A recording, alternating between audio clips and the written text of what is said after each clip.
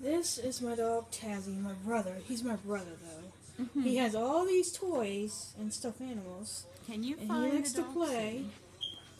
And there's all his stuff. So he just loves to play with them. and that's it. All right, people, that's it.